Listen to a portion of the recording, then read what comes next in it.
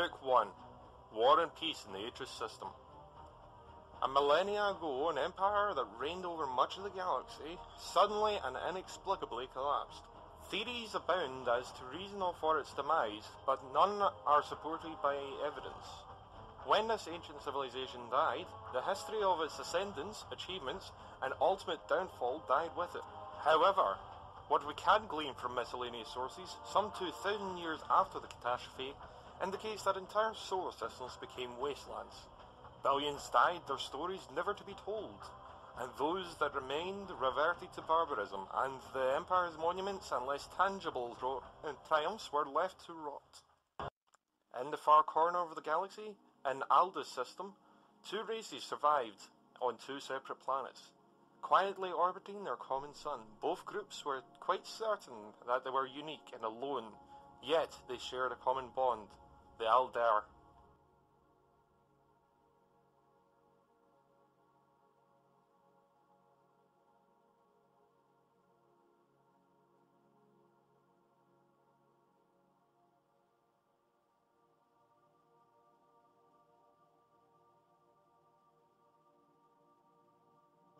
Who are the Aldair? Of the numerous gods in the cosmic pantheon, only the Aldair have so powerfully affected the fate of the galaxy.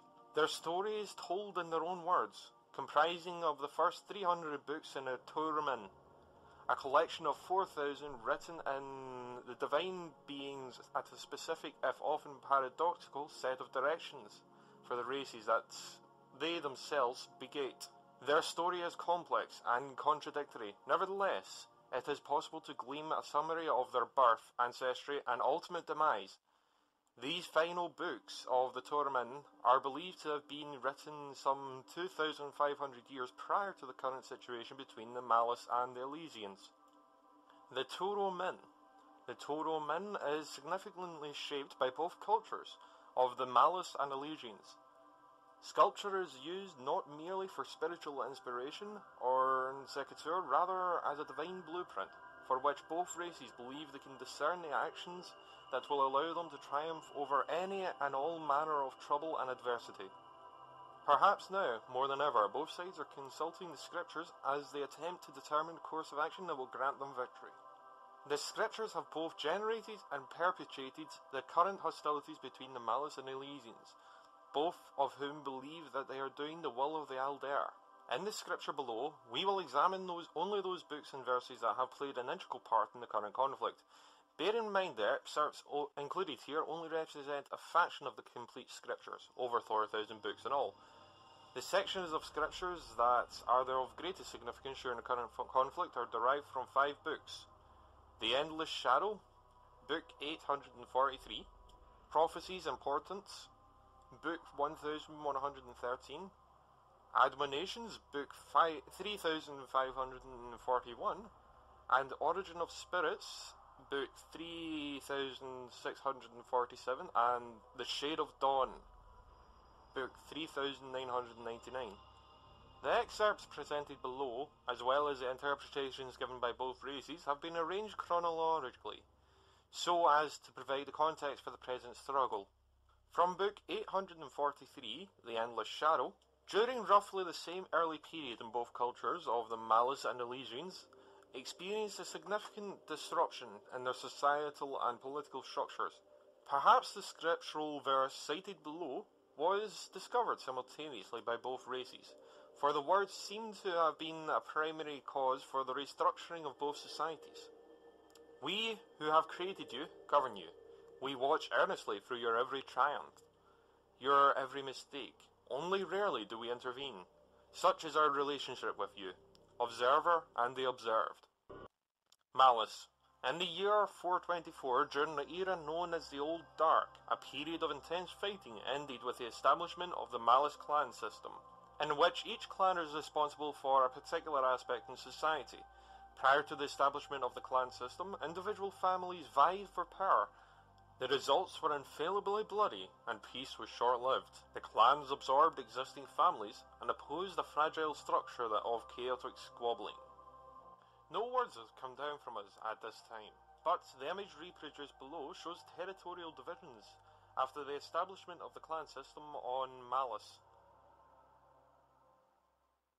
Elysians. During the same period, time period, the Elysians were at the height of the period of cultural and intellectual prosperity. This verse of the Aldair scripture had a profound influence on Elysian thought. Indeed, in their own tongue, Elysian meant they observed. Self-censorship in the arts grew as fear of the Aldair's disapproval took roots in the Elysian mind. Prior to adopting the Elysian name, philosophical theses abound with the arrogant references of the greatness of the elect. We, the elect, are solely worthy to inherit the cosmos. There is no intelligence but our intelligence. Following the strict interpretation of the Aldair scripture, particularly the above quoted verse, the tone changes dramatically. We who are the mere shadow of the Aldair humbly submit our intelligence Feeble though it may be, before them, we, the observed, sit in judgment of the superior wisdom. From Book 3541 Admonitions. Admonitions, from which the following verse is taken, is a strange compilation of mystical guidance and practical admonitions. The latter indicates guidelines regarding dietary restrictions, marriage rights, manners, mode of dress, and even appropriate entertainments.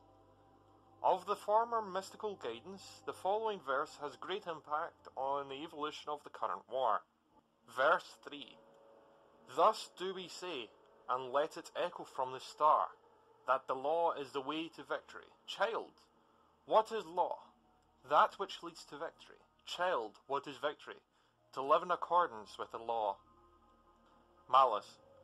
Malice interpret this verse to mean the laws of the malice, that is, secular laws.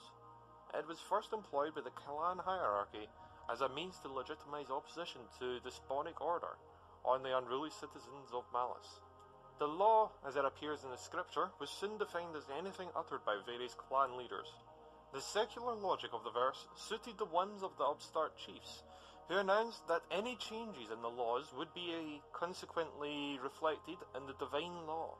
Any radical changes or abuses of power were then simply defined as being part of the law, and therefore justifiable.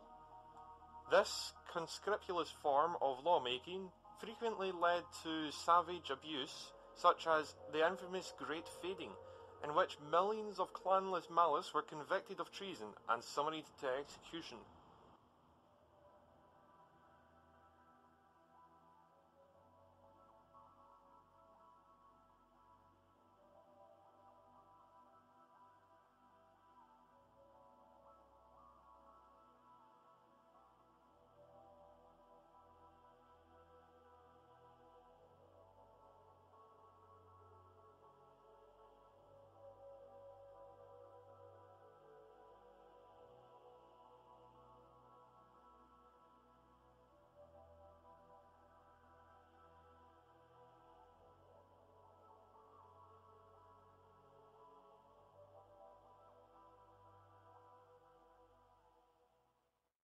Elysians. The particular translation of a single word highlights a fundamental cultural difference between Malus and Elysia, and may be responsible for current tensions between the two races. Whereas the Malus interpreted the term victory to mean conquest over oneself and others, the Elysians, who lacked such an aggressive mindset, took the term to mean unity or friendship. Thus, this passage was critical in the Elysians' efforts to determine if there were other intelligent life forms existing in the system. Prior to contact with the Malus, victory appears frequently in the speeches of the Elysian political leaders, including the famous lecturer of the people, the great Oratarchar Wathrok. Quote, My people, among us and within us, there dwells an insatiable loneliness. To our philosophers, artists, orators, and millions of others, nameless, who have enriched our lives, we owe gratitude but alone amongst even ourselves our achievements ring hollow.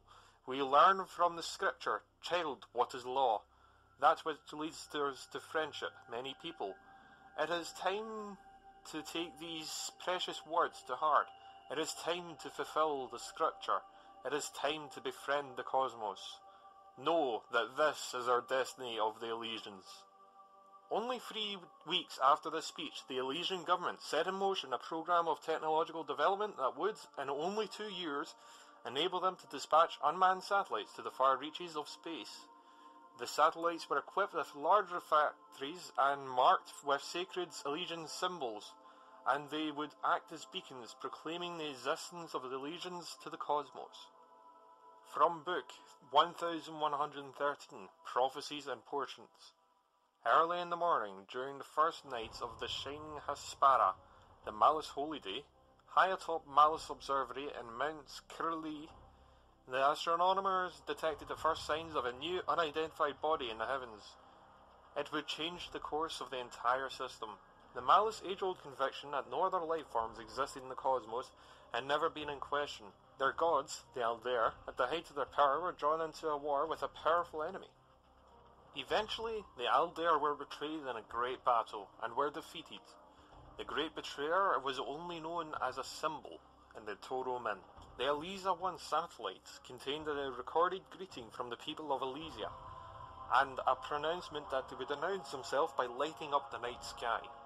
Prophecies of Importance was written by an unknown Aldair during the decline of that divine race. Pessimistic in tone and numerous divinations were the first indication that the Aldair's time had passed. Divination 1001 All living creatures wake to the light of the sun. When there are two suns, does that increase awareness? Shadow upon shadow, light negates light. Malice. The Malice had long been divided over the significance of the enigmatic prophecy and two suns had been interpreted in every sublime and ridiculous way imaginable. The passage had since become synonymous with the Jewel Rise, as the sun rose prominently over a heavily populated continent. The appearance of the sky of the unmanned and unarmed Elysian satellite gave the appearance of two suns appearing simultaneously. Its orbit decaying, and the satellite at last burnt through the atmosphere and crashed to the planet's surface. What was recovered from the wreckage shocked the entire populace. Emblazoned with the wreckage was the symbol of the Toromin, the symbol of the great betrayer, who had caused the downfall of their gods. The satellite also contained an encrypted message that, once deciphered, was immediately revealed by the Malus holy men to be the previously incomplete Toromin sculpture. Observer to observe. The striking hand gathers the flame, the crushing hand ignites the path. Victory is the light. The threat was obvious. The great evil was returning to destroy them, as it has the Aldair. The Malus prepared for war. The cataclysm and confrontation of the great betrayer was imminent.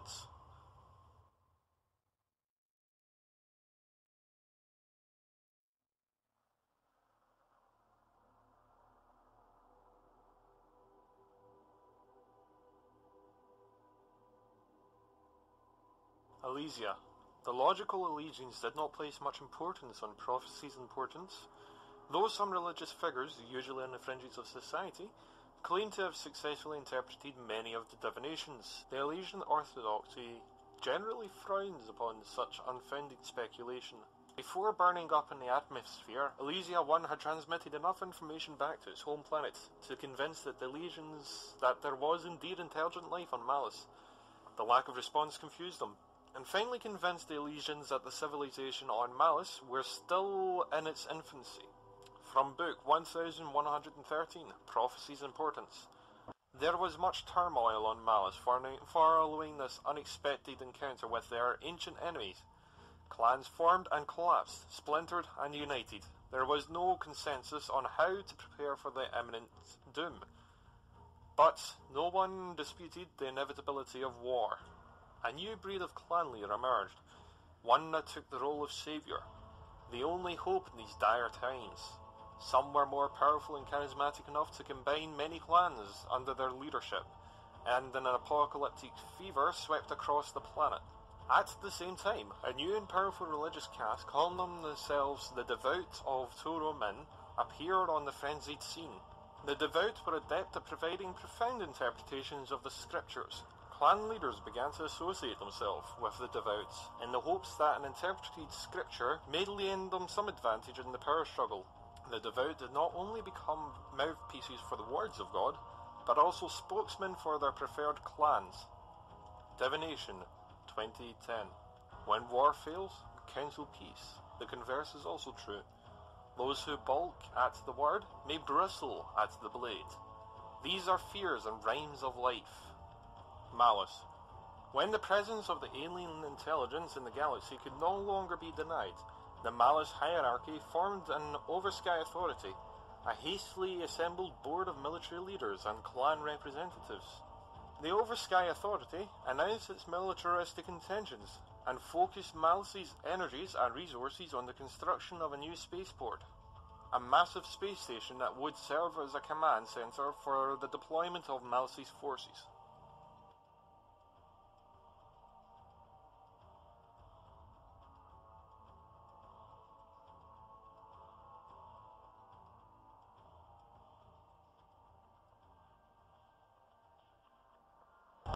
During the period of the Oversky Authority, the Elysians remained cautiously optimistic despite the fact that many of the follow-up satellites they had dispatched into Malice space had vanished.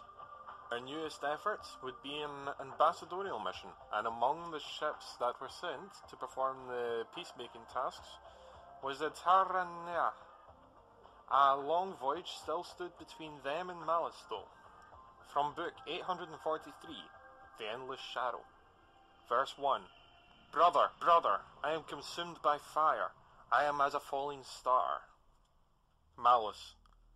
In the early mornings of the second Haspra, a morning that would be later described by the Malice devout Paura as dung dark and dry as death, the Oversky Authority activated the spaceport. The Night Sky Cult had gained ruling status and an intense re-education program had buried any hopes of diplomacy. Most clans gathered behind the Night Sky clan. Their military might and economical advantage presented them with the best chance to defeat the Great Betrayer. From Book 3999, Shades of Dawn. The Malice spaceport was eerily renamed Nightholme by the Night Sky clan.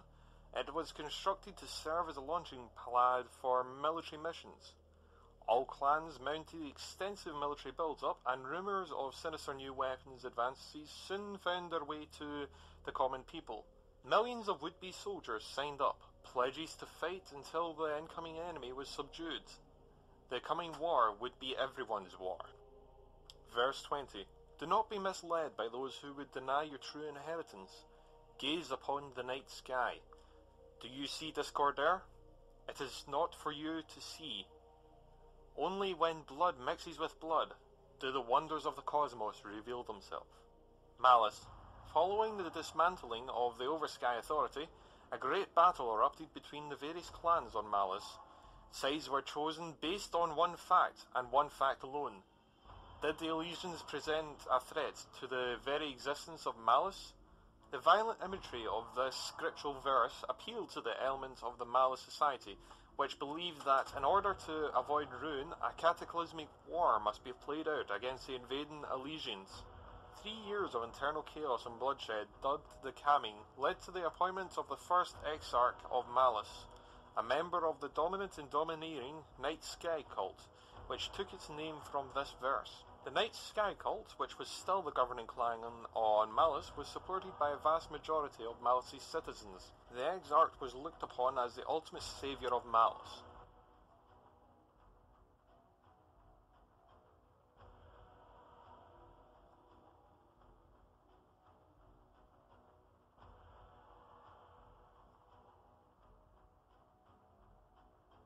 Elysia. The Elysians' take on this passage is typically pacifistic, cited frequently by those supporting the manned mission to Malus. Verse 20 substantiated the Elysians' belief that unity must be sought at any cost. Only when blood mixes with blood do the wonders of the cosmos reveal themselves.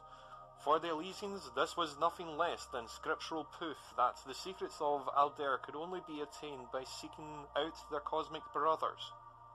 From Book 3541, Admonitions. Night Sky, a colossal Malice spaceport, orbits menacingly around its dark home planet, while devotes recruit eager would-be martyrs from across the land. The Malice preparations for war were rapid and impressive. Advances in armaments and other technologies were announced daily, and military leaders hastily assembled highly effective regiments of devoted soldiers. It was with an enormous sense of duty that the Malice prepared to face the great betrayer. Verse 210 Lose your heart to thoughts of war and nothing else. Long for war and wed yourself to dreams of battle. Malice. The recitation of the above verse by hundreds of thousands of Malice troops prior to entering battle has been for those who have borne witness to the event an awesome experience. The Malice war machine, which until fairly recently hardly existed, has grown into a formidable military structure. The current war is nothing less than fulfillment of the thousands of years of prophecy. Guided by the Aldair, the Malice are prepared to reclaim the galaxy as their own. Clans, however, are proudly and statutorily independent while a common cause sufficed to maintain a fragile peace on the home planet.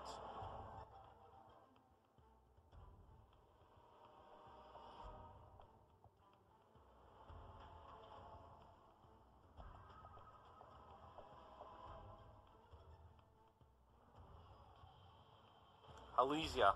Many Elysian heroes are philosophers and explorers, reflecting the people's passion for thought. They hold tenaciously to ideas, a disposition which in the past had led to several intonation wars. Until recently, the modern Elysian called these hostilities with a sense of shame. Today, however, the Elysian society is a war footing, and memories of the past have been given a new life. Elysians are seeking to return to their more combative, some would say noble past and they point to verse 210 as evidence of the necessity of war. From book 3647, Origin of Spirits. Theologians on both sides are puzzling over the possible meaning of divination 1200, which rises the spectre of an as yet unknown force in the cosmos. The writer's tone, fearful in the face of an undefinable threat, heralds the appearance of a new author perhaps a sage Aldair elder.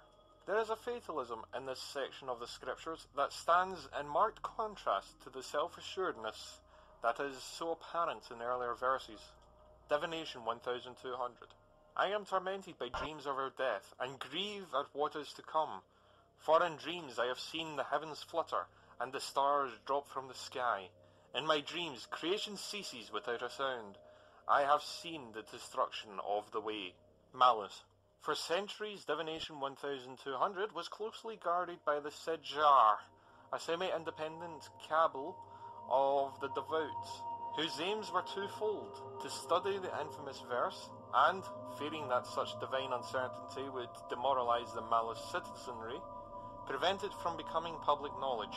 But, with the advent of the Elysian War, the Exarch has commanded that the divination be divulged to the public. The Sedge Jahar have emerged from obscurity as members have elevated to a godlike status and verses reinterpreted to suit the whims of the Malice military regime. The Malice hierarchy, including the devout of the Night Sky clan, have adopted a position which was, until recently, a frightful heresy. The destruction of the Way admits the possibility that Malice can now fulfill their destiny as the rightful inheritors of the divine rule in the cosmos. Though this idea was nothing new in Malice religious thought, the prophecy in Divination 1200 lacked historical precedence until the start of the war. Now, the Malice believed that with the destruction of the legions, they would return to a paradisiacal period in galactic history, when only divine beings the malice now among them dwelled in the cosmos, Elysia. Typically, the Elysians have taken a considerably more humble approach in their interpretation of Divination 1200. Mystics among the Elysian priesthood have determined that the passage is essentially a divine appeal for mortal hell that has transcended time and space. There is both the burden and the privilege of the Elysians to reopen the way so that Aldair may once again return to its former glory.